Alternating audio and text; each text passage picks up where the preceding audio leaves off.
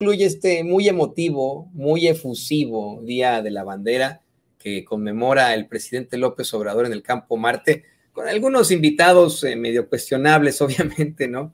Eh, que son parte del protocolo, ¿eh? No me malentienda.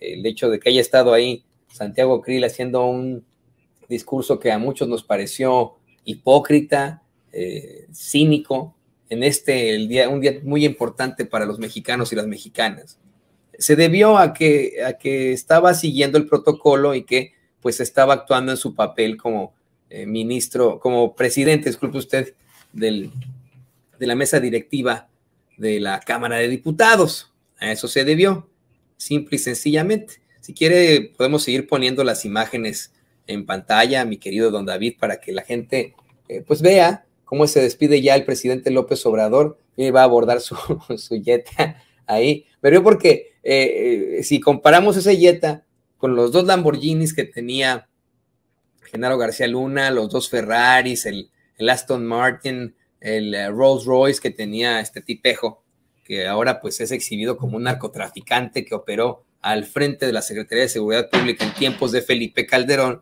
pues sí, sí surgen muchas dudas, muchos cuestionamientos, sí surgen estas, por decirlo así, risas nerviosas. Pero miren, en verdad y definitivamente que el Día de la Bandera es importante para nosotros. Esa, bueno, no la que está junto, yo, tenemos que aquí en Estados Unidos honrar las dos banderas, porque aquí estamos, hay que, hay que respetar, pero la bandera tricolor, esa bandera que tengo a mis espaldas, estoy convencido, es la bandera más bonita del mundo. No sé usted, ¿eh? Cada vez que me ha tocado regresar después de esta larga ausencia de mi país, regresar a México, y estar en el Zócalo Capitalino, llegar a ese Zócalo Capitalino, al, vamos, se llama Plaza de la Constitución, pero así le llamamos, el Zócalo Capitalino, y ver esa hermosa bandera, a lo mejor la tiene por ahí donde David nos, puede mostrar una imagen, esa hermosa bandera. No me, no me queda más que, pues decir eso, es la bandera más bonita del mundo. Lo siento por otros países, no es mi intención ofender a ningún extranjero, pero esta es la bandera más bonita del mundo la más simbólica, la más significativa. Hace unos momentos el presidente López Obrador plantea algo que me, que me llenó de, pues vamos, de admiración. Eh, plantea como todas las victorias mexicanas son siempre señaladas por el águila y la serpiente.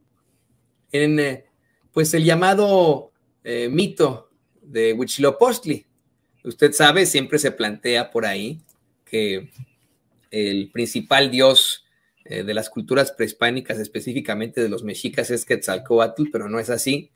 Es eh, Huitzilopochtli, el principal dios de los mexicas, que eh, fungía como deidad en cuanto, a, en cuanto a varias situaciones, desde la guerra hasta la tierra. Bueno, la tierra era su mamá, pues, pero tantas situaciones que, tenía Huitzilopochtli encima.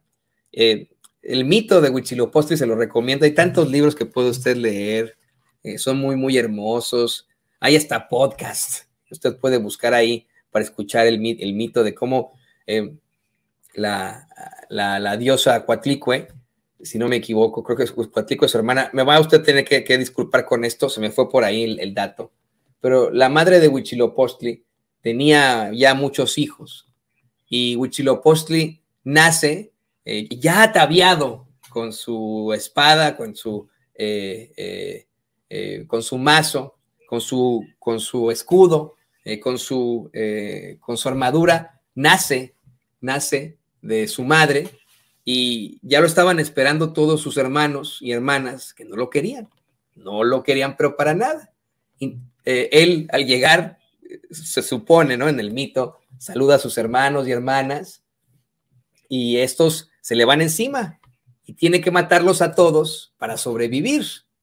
Eh, le voy a pedir, por favor, que me, que me digan por ahí, se me fue el nombre de la, de la diosa madre de Huitzilopochtli, si me lo puede buscar por ahí la querida Nayeli, se lo voy a agradecer, eh, porque creo que Coatlico es la hermana, ¿no? Sobreviven algunos de los hermanos de Huitzilopochtli que le siguen siempre haciendo la guerra, pero al ver a su madre tan triste por el asesinato de sus hermanos, que también, pues, homicidas, intentaron matarlo a él, Huitzilopochtli decide hacerlos todos, a todos sus hermanos muertos, las estrellas que, que en estos momentos, bueno, en el mito, eh, eh, eh, son parte de nuestro firmamento, son todos los hermanos de Huitzilopochtli.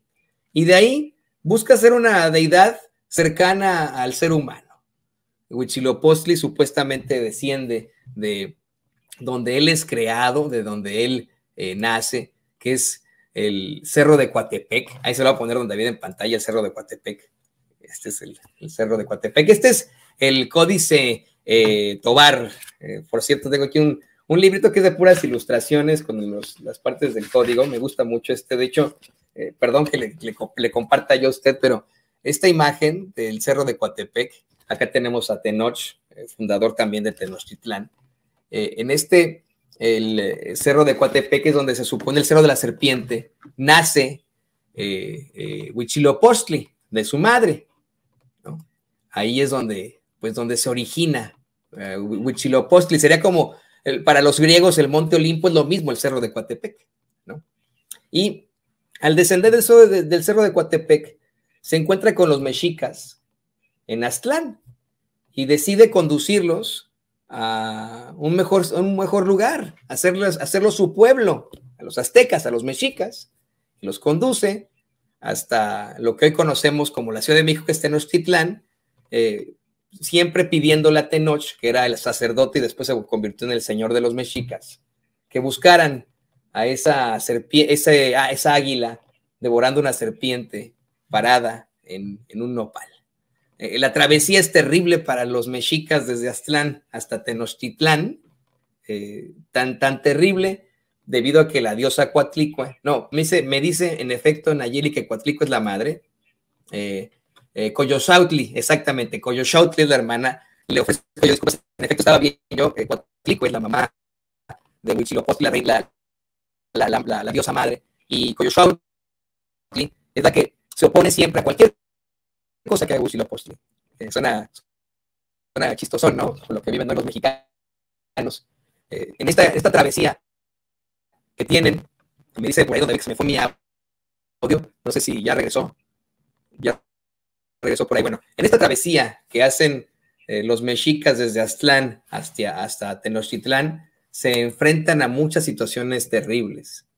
Se enfrentan a, eh, pues, vamos, guerras con eh, los señores de varios señoríos, valga la redundancia, que estaban, eh, que se oponían a su presencia en la zona.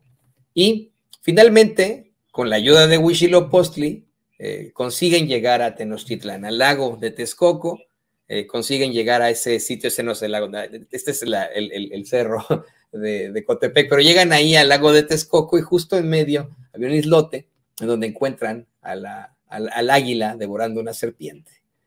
Y le cuento esto porque para nosotros, creo, como mexicanos, es lo más representativo que existe. No hay, hay, banderas en las que hasta ponen al AK-47 con mucho respeto para los que lo hagan, ¿no? Como parte de su tipografía, está también el, la hoz y el martillo, ¿no? En el caso de muchas eh, repúblicas socialistas. Eh, aquí en Estados Unidos son las barras y las estrellas, pero estoy convencido que no hay una situación que nos defina en cuanto a simbología más, que es águila devorando una serpiente y que eh, es la señal para podernos establecer. Y a pesar de las adversidades, a pesar de estar en un lago, crear y hacer cosas grandes, eh, cosas eh, creo que ahí, ahí le dio extremadamente en el clavo el presidente López Obrador al decir que esas victorias mexicanas siempre son señaladas por nuestra águila y por nuestra serpiente siento haberle aburrido. Me dice don David que hay problemas con mi audio. No es, no es por mí, ellos son los que están transmitiendo. Yo tengo, tengo el mejor internet que existe. Me voy a, me voy a reconectar en lo que don David le, recuerda las, las, redes sociales para que no haya ningún problema.